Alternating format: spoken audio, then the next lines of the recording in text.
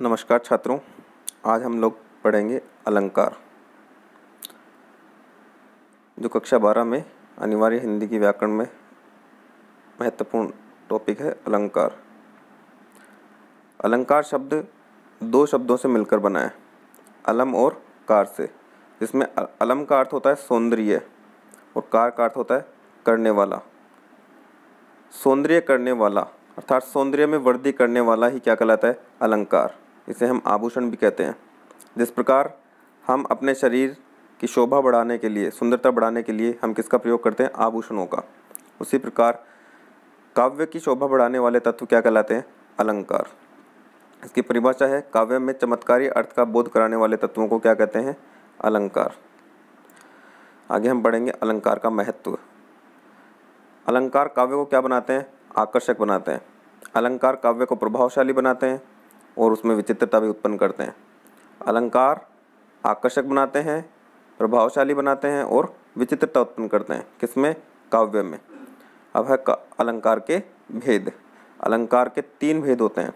शब्दालंकार, अर्थालंकार, उभ्यालंकार। नाम से पता चल रहा है, शब्दालंकार जहाँ अलंकार शब्द में होता है, वो शब्दालंकार। जहाँ अलंकार अर्थ में होता है, वो अर्थालंकार। और जहाँ अलंकार दोनों में होता है, शब्द और अर्थ दोनों में होता है वहाँ उभयालंकार होता है। शब्दालंकार की पहचान हम देख सकते हैं अगर शब्द को हटाने पर, उसकी जगह दूसरा पर्यायवाची शब्द रखने पर अलंकार नष्ट हो जाता है तो वहाँ पे कौन सा अलंकार होगा? शब्दालंकार। शब्द के हट, हटाने पर, उसकी जगह दूसरा पर्यायवाची शब्द प्रयुक्त करने पर अलग, अगर अलंकार नष्ट हो रहा है तो वहाँ पर कौन सा अलंकार होगा? शब्दालंकार। मतलब वहाँ पे शब्द में ही अलंकार है। शब्द की जगह दूसरा शब्द रखने पर अलंकार नष्ट हो रहा है। और अगर शब्द की जगह दूसरा शब्द रखने पर भी, उसका पर्यावाची शब्द रखने पर भी अलंकार बना है, बना बना रहता है, वहाँ पर कौन सा अलंकार होगा? अर्थ अलंकार। इसका मतलब वहाँ पर शब्द में अलंकार न होकर किसमें अलंकार है? उसके अर्थ में अलंकार निहित है। पर्यायवाची शब्द रखने पर भी उसमें अलंकार बना रहता है। इसका मतलब शब्द में अलंकार ना होकर कहाँ अलंकार है? उसके अर्थ में अलंकार है। इसलिए वहाँ पे कौन सा अलंकार होगा? अर्थ अलंकार। और तीसरा अलंकार है उभयालंकार। जहाँ अलंकार शब्द में भी हो सकता है और अर्थ में भी हो सकता है। दोनों में जहाँ अलंकार होता है, वहाँ पे कौन सा अलंकार होता है? उभय अलंकार। आपने देखा होगा, उभयचर प्राणी होते हैं। उभयचर प्राणी वो प्राणी प्राणी होते हैं जो स्थल पर भी चलते हैं और जल पर भी चलते हैं। जो दोनों जगह रहते हैं, वो क्या कहलाते हैं? उभयचर कहलाते हैं।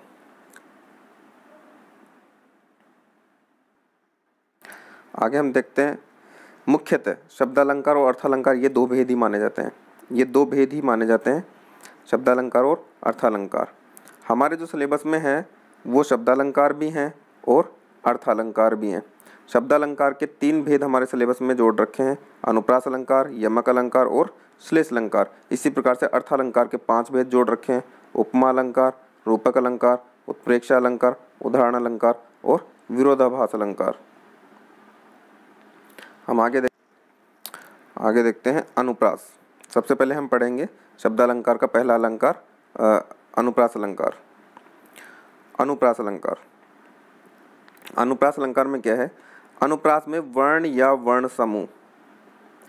कितनी बार आता है? दो या दो से अधिक बार आता है। वर्ण या वर्ण समूह। वर्ण या वर्ण समूह दो या दो से अधिक बार आता है। वहाँ पे कौन सा अलंकार होगा? अनुप्रास अलंकार होगा। जहाँ काव्य पंक्ति में वर्णों की आवृत्ति एक से अधिक बार हो वहाँ अनुप्रास अलंकार होता है। अनुप्रास के कितने भेद बताए गए हैं? चार भेद बताए गए हैं। पहला छेकानुप्रास दूसरा है वृत्तानुप्रास, तीसरा अंत्यानुप्रास, चौथा श्रुत्यानुप्रास। छेकानुप्रास, वृत्तानुप्रास, श्रुत्यानुप्रास और अंत्यानुप्रास। पहले हम पढ़ेंगे छेकानुप्रास अलंकार। छेकानुप्रास अलंकार में क्या होता है? एक वर्ण या वर्ण समूह। कितनी बार आता है? दो बार आता है। एक वर्ण या वर्णों का समूह, दो बार आता है। ये बात ध्यान रखने वाली है। जहाँ पर वर्ण या वर्ण समूह कितनी बार आता है? दो बार आता है। कोई भी वर्ण है, वो दो बार आएगा, जोड़े में आएगा। कै कै, ख ख या टे टे तय तय इस प्रकार से दो बार आएगा। अगर वर्ण ही है, इसका मतलब कह कह की दो बार आवर्ती होगी अगर वर्ण समूह है तो एक ही पंक्ति में कह कह भी आ रहा है। ख ख भी दो बार आ रहा है तय भी दो बार इस प्रकार से, जहाँ पर वर्ण या वर्ण समूह दो बार आता है, वहाँ पर छः का अनुप्रास अलंकार होता है। इसके उदाहरण है, सब और छटा थी छाई। इसमें देखो छटा और छाई। छः छः वर्ण की आवर्ती हो रही है। किसकी आवर्ती हो रही है? छः और छः की। अगला उदाहरण है, भगवान भागे। ये भाग्य गलत है। भागे। भगवान भागे दुख, जनता देश की फूले फूले। फूले फले। इसमें देखो भय भय और फै फै यहाँ पर वर्ण न होकर वर्ण समूह है। भय भय भी आ रहा है और फै फै भी आ रहा है। कितनी बार आ रहे हैं? दो दो बार आ रहे हैं। इसलिए यहाँ पे कौन सा अलंकार होगा? छः का अनुप्रास अलंकार होगा। अंतिम उदाहरण है, चेत कर चलना कुमारक में कदम धरना नहीं इसमें च च, क क। यहाँ पर भी वर्ण समूह की दो बार आवर्ती हो रही है। दो बार आ रहे हैं। आवर्ती नहीं, दो बार आ रहे हैं। आवर्ती में और दो बार आने में बड़ा अंतर होता है। तो च च और क के आवर्ती कारण से यहाँ पे कौन सा अलंकार है? छः का अनुप्रास अलंकार है। आगे हम देखते हैं, दूसरा अनुप्रास का दूसरा भेद है, वृत्तानुप्रास अलंकार। जहाँ पर एक वर्ण या वर्ण समूह दो बार न आकर दो से ज़्यादा बार आता है, वहाँ पे कौन सा अलंकार होगा? वृत्तानुप्रास अलंकार। बार बार, एक से अधिक बार। क्या होती है? आवर्ती। एक बार आवर्ती हो रही है मतलब दो बार। एक बार आवर्ती का मतलब होता है, वहाँ पर दो बार आ रहा है वर्ण। और दो बार आवर्ती का मतलब है, एक बार से ज़्यादा मतलब दो बार से ज़्यादा वर्ण लिखा जा रहा है। जैसे इसमें एक वर्ण या वर्ण समूह अनेक बार की अनेक बार आवर्ती होती है मतलब एक से अधिक बार आवर्ती होती है। एक बार तो वर्ण होता है, अब एक बार आवर्ती हो गई ये, एक बार आवर्ती। यहाँ पे लिखा है अनेक बार आवर्ती होती अनेक बार का मतलब यहाँ पे कोष्टक में बता रखा है एक से अधिक बार। मतलब एक बार भी आ गई तो एक से अधिक बार आवर्ती हो गई। कहने का मतलब कम से कम वर्ण दो या सॉरी तीन बार। तीन बार लिखा जाता है। इसलिए यहाँ पे बताया गया अनेक बार आवर्ती होती है। कहने का मतलब एक से अधिक बार। इसके उदाहरण दे रखे हैं। चारू चंद्र की चंचल किरणें खेल रही थी जलथल में। यहाँ पे चय वर्ण की आवर्ती तीन बार बता रखी है। इसलिए यहाँ पे कौन सा अलंकार है? वृत्तानुप्रास अलंकार। अगर च वर्ण दो ही बार आता तो कौन सा अलंकार होता? छः का अनुप्रास अलंकार। अगला उदाहरण है, भव्य भावों में भयानक भावना भरना नहीं। भव्य भावों में, यहाँ पे क्या है? भावों में। भव्य भावों में भयानक भावना भरना नहीं। यहाँ पे भय भय भय भय की पाँच बार आवर्ती हो रही है। दो से ज़्यादा बार होते ही कौन सा अलंकार हो जाएगा? वृत्तानुप्रास अलंकार हो जाएगा। और दो बार रहेगा तो छः का अनुप्रास अलंकार होगा। अगला है चंदू के चाचा ने, चंदू की चाची को चांदनी रात में चांदी की चम्मच से चटनी चटाई यहाँ पे छः वर्ण की आवर्ती बहुत अधिक बार हो रही है, इसलिए यहाँ पे कौन सा अलंकार होगा? वृत्तानुप्रास अलंकार। अगला हम देखते हैं अंत्यानुप्रास अलंकार। नाम से स्पष्ट हो रहा है, अंत में अनुप्रास होता है। कहाँ पे अनुप्रास होता है? अंत में अनुप्रास। इसकी डेफिनेशन देख लीजिए। उदाहरण से ज़्यादा समझ में आएगा ये।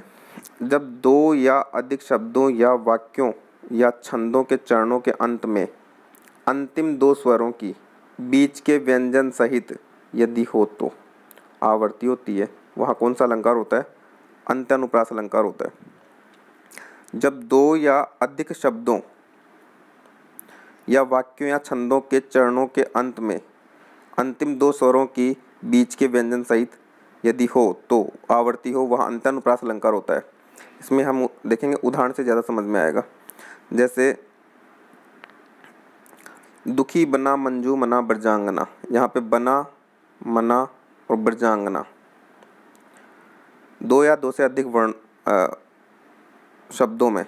दो या दो से अधिक शब्दों में। डेफिनेशन में देखो, शब्दों में।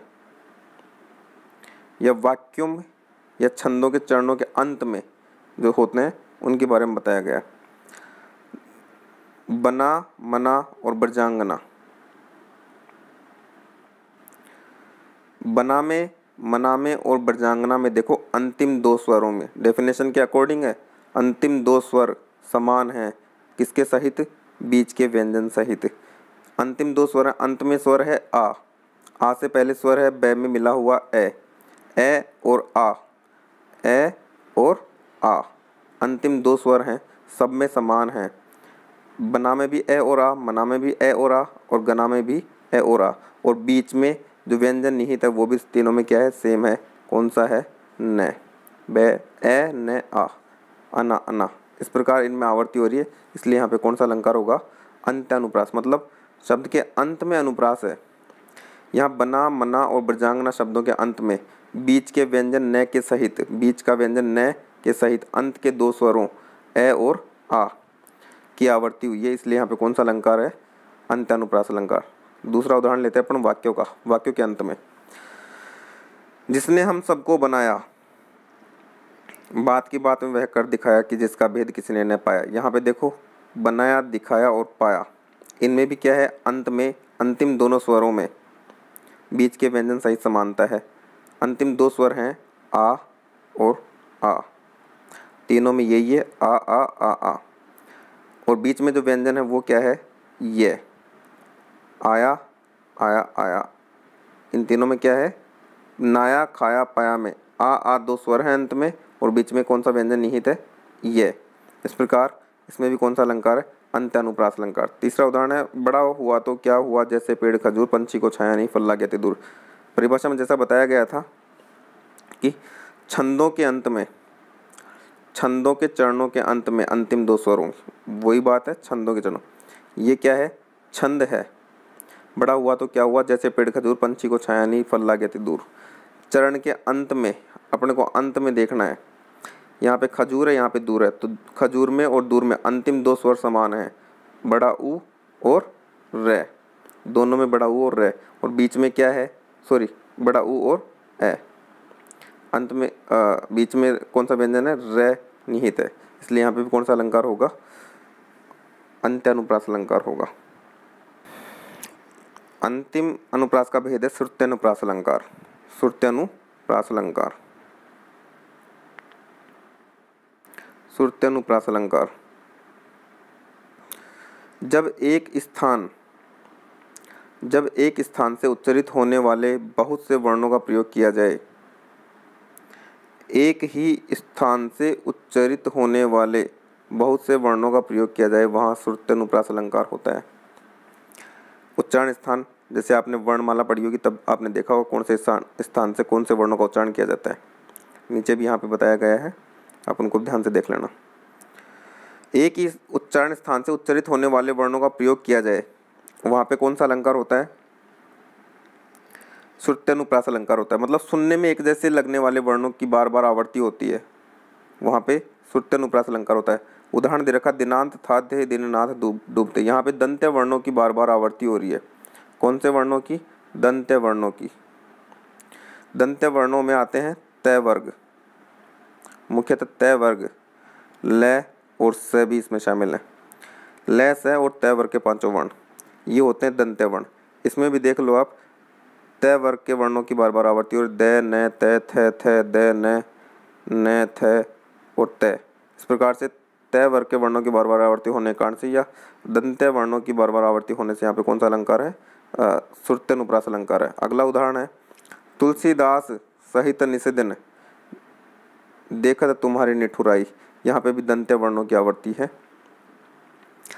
तय ल, से, द, से से, त, न, से, द, न, द, त त, र, न आदि। ये सारे क्या हैं? दंत्य वर्ण, इसलिए यहाँ पे कौन सा अलंकार है? सुरत अनुप्रास अलंकार है। अब आप ये उच्चारण स्थान देख सकते हैं। मुख्यतः आपको यही याद करने हैं। इनसे आपको अंदाज़ा हो जाएगा कहाँ पर सुरत अनुप्रास अलंकार है। अगर ये आते हैं एक ही पंक्ति में बार बार इसका मतलब इनका उच्चारण कहाँ से? कंठ से, सुनने में एक जैसे लगेंगे। अगर ये आते हैं तो इनका उच्चारण तालु से, ये सारणी आप ध्यान से देख लीजिएगा। कुछ नीचे भी हैं। तो उम्मीद करता हूँ आपको समझ में आया होगा। धन्यवाद.